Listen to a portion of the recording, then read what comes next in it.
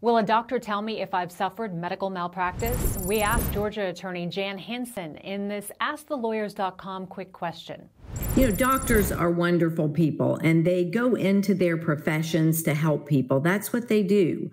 But mistakes are made, and the doctor is going to be counseled by their insurance company. They all have insurance they're going to be counseled not to be talking to you about the mistakes that they even know they made.